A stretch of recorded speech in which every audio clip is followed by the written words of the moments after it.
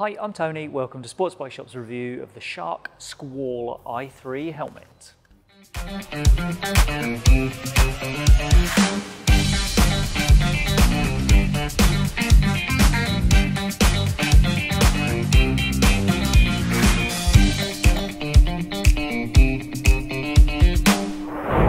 The latest version of the helmet with the lights is here, and this one takes the concept a step further than what's gone before. If you're not aware of the Skwal helmets, the standout feature has always been its series of LEDs, which are on the chin bar surrounding the top vent and also at the rear of the helmet. This Skwal i3 adds something new to that concept, and that's brake lights. As well as white lights on the front, the rear lights are now red, and they'll react as you brake thanks to an inbuilt accelerometer. Under normal braking, the lights just flash and then the intensity of that flashing increases if you're braking hard. So that takes a concept that used to appeal largely on aesthetic grounds and now it means there's an attraction for riders who want to improve their safety out on the roads. For those people, I also think the front lights are stronger than the ones on the older helmets, again beefing up that visibility factor when you're riding at night. But before I go into too much detail about the lights, let's just run through some essential details on the helmet itself. The Shark Skwal i3 runs a plastic shell and this size medium weighs in on our scales at 1638 grams. That's sort of on a par, I'd say, with other helmets in this category, and it's not too bad really when you consider the lights and the battery are always going to add some weight. There are vents at the chin bar, just here, and also up top. They're operated by quite small switches that slide down or back and allow air inside the helmet. Now I have to say they don't generate the most noticeable flow of air, so I think they're really about long-term cooling rather than bringing in that immediate blast of air. They do allow some air in as I can detect an increase in the noise levels, especially when I'm riding a bike with a screen, but I can't really detect any real cooling effect. Now let's look at those lights then. The three blocks of LEDs sit on the chin around the vent here, on top around that vent, and then also at the back by the spoiler. They run from a battery that's stowed away inside the helmet and that charges through a USB-C port that's zipped into a pouch at the nape of the neck. You then turn them on with a button at the left of the helmet rim, which also lets you select from three active modes and you can also turn the lights off completely with a long press. So push once and it goes into mode one where the front lights are off, the back lights are also off until you brake and when you do brake they'll flash increasing in intensity when you brake harder. Mode 2 with another push of the button puts the white lights at the front on constantly, the rear lights are also on constantly until you brake when they start to flash and then the third press on here means that everything flashes. So the white lights at the front are flashing, the rear lights are flashing all the time and then the intensity of that flash increases when you start to brake. If you push the button again, then it cycles back to the start. So we've got front lights off, rear light braking only, and then the long press on that button is what you do to turn it off completely. If the system detects no movement of the helmet for 60 seconds, then it automatically goes into standby mode. And then when the lid moves again, it automatically restarts those lights in the same mode they were in before it was put into standby. If there's no movement for 72 hours, then the light system shuts down completely to preserve the battery and then you need to turn them back on when you start riding by pressing the button again. Sharks say the battery has enough capacity for 12 hours of use with the lights on constantly before that battery needs to be charged up again. Now I think these lights are brighter than the older Skwals and the addition of that responsive brake light at the back moves it on a level from what's gone before. When I was riding at night, I'm pretty sure that having these lights on made me more visible to other traffic and that's not something I would have said for the previous Skwal 2. Right, let's move on to the visor. This is an area where Shark excel in general, in my opinion, and I think this helmet is no exception. The clarity is optical class 1, which is as good as it gets, and there are five interim steps as the visor travels from fully up, with the lip coming to rest on the seal on the fifth of those steps.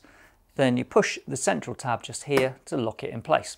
There's no need to push any buttons to release the lock when you want to lift the visor again, just give it a firm push on that tab and then it frees it and lets you raise the visor. With the visor on its first step up, there's a small gap for air to enter the eye port, and then the next step up also gave me plenty of air without getting in the way of my vision. I didn't, couldn't see the bottom edge of the visor being a problem. The visor detent is quite strong, and I found it would stay open when riding in town with it partially open rather than closing of its own accord. There's a new mechanism holding the visor in place and it's a lot easier to use than the one on the original Skwal and also the Skwal 2. Once you get the knack of this, it's a very quick change and as soon as we've made our how-to video on that, we'll put a link in the description below. The visor is also protected by a Pinlock anti-mist insert, which is a Pinlock 70, which is the middle of the three grades available. Now here's another upgrade for Shark as well. It's much easier to rotate the Pinlock pins to adjust the tension on the insert if you need to. Rather than pressing the pins out and then having to push them back through in a different position, you can now just rotate them in situ.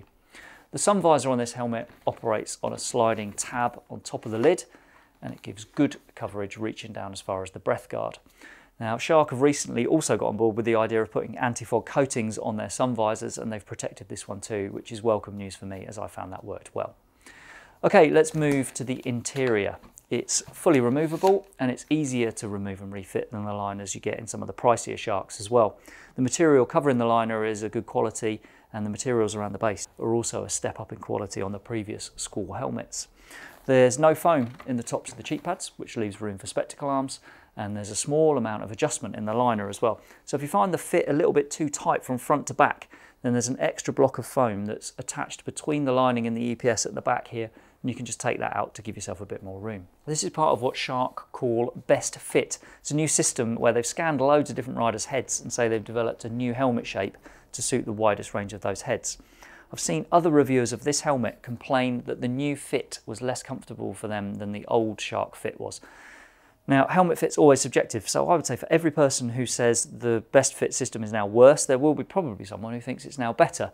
From my own point of view, this helmet felt just as comfortable as other Sharks I've worn over the years, but it's probably best to say, don't just assume this is going to fit as well as previous Sharks if you've always got on well with them, and don't just assume it'll fit as badly as others if you've always struggled with Sharks.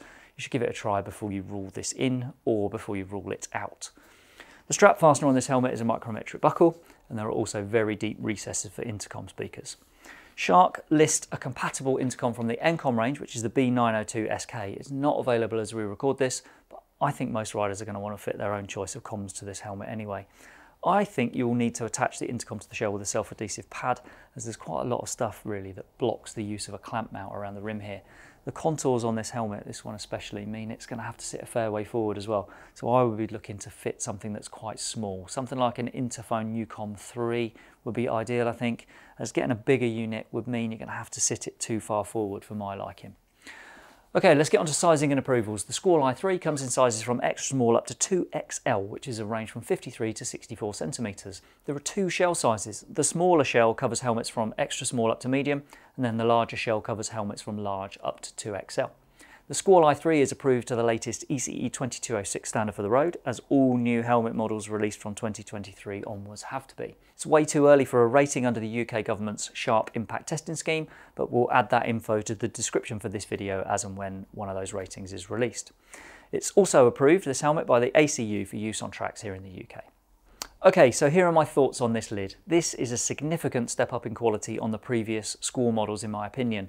The lights are better, the lining's better, the visor mounting mechanism is much better, and the overall build quality is superior to those older lids. The lights on this made me feel more visible on the road, and my riding partner said that was definitely the case that I stood out more. Whether the brake lights are going to attract enough attention to make a following rider or driver less likely to run into the back of me, I really couldn't say. But I am pretty sure that it won't make them more likely to run into the back of me. The only real downside overall with this helmet, I think, is the performance of the ventilation, although helmets with plastic shells like this often end up being a bit poor for ventilation anyway.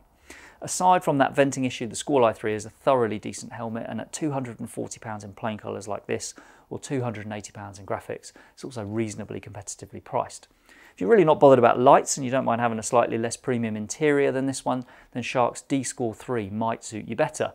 That helmet has no lights, it's got a more basic comfort lining and it's also got a significantly lower price. But in all other regards, it's exactly the same helmet. Working on our review of that helmet at the moment and as soon as it's published, we'll make sure a link pops up on the screen. But as far as this Skwal i3 goes, I've been very impressed with this helmet and I think Shark have done a really good job of moving this on from what's gone before.